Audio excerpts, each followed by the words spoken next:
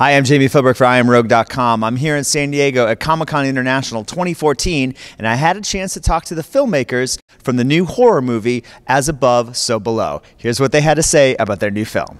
Tell me a little bit about um, coming up with the idea for the film and developing the screenplay. Well, Drew and I had always wanted to do a kind of found footage Indiana Indiana Jones esque kind of movie, and uh, with a female lead. Uh, but to do it in a kind of found footage, like really personal way. And uh, Thomas Tull at Legendary called us uh, and uh, said, I, I would love to do something in the Paris catacombs. And we are like, oh my God, that's that's the perfect setting for this story. And we brought it in, pitched him uh, a couple days later, and he said, let's do this. And uh, and he was serious. And we went off and just shot it. And the whole thing happened really fast.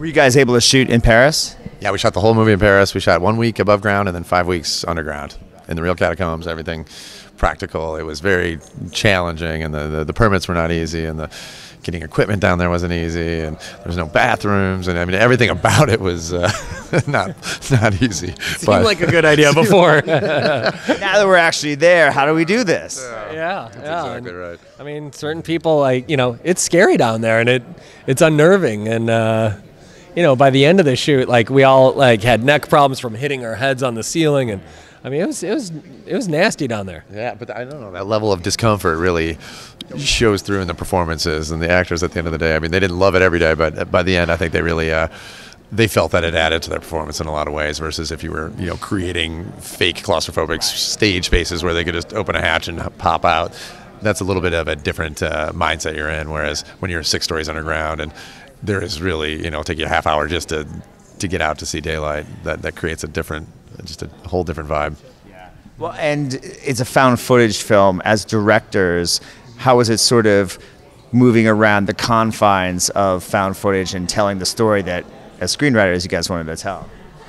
Well, it's interesting with found footage. Like you really have to sort of write the camera in and sort of know where it's going to be, and sort of block the action around it so so that the camera can be in the right place to not only capture like the crazy things happening, but also characters' faces. Like you have to sort of be wary of that. And uh, and our cinematographer, you know, uh, they don't really do the horror thing in France. And he was a French Steve. They don't really do the horror thing there, and they don't really do the found footage thing there. But he's a fantastic documentary uh, filmmaker, and um, and he was on it. Like he loved it, and uh, and he was just amazing. And you know, the actors, they all said that they loved the fact that you never knew when you were going to be on camera. So you had to bring it all to every take. You couldn't just wait for your close up and, and nail the close up and, and not nail everything. Like the camera could be on you at any time.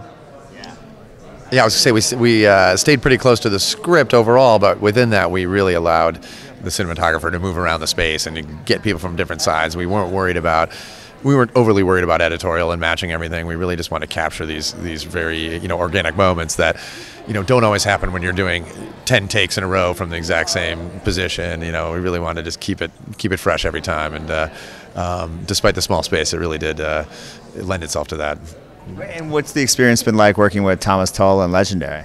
Oh they're amazing. They are they just trust their filmmakers and they really let us do our thing. And they you know served up a really you know important part of the idea in the beginning, and then just you know we delivered a very kind of strange supernatural movie that we thought worked, and we didn't know how it would play, and they, they just loved it, and they um, they're just the most supportive guys, Thomas and Jon Jashni and Alex Hedlund. Really, uh, we'd love to spend our whole careers there. And you guys have another movie coming out later this year.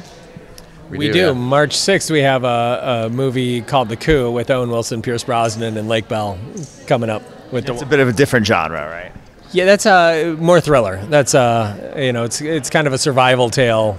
You know, it's it's interesting. Like it's it's surviving a crisis in the same way this is, or you know, it, it's sort of a thread we we noticed recently. We're like, okay, all our movies deal with like survival. Like no one ever changes their clothes. It's usually one day, and uh, it sort of fits that mold a bit.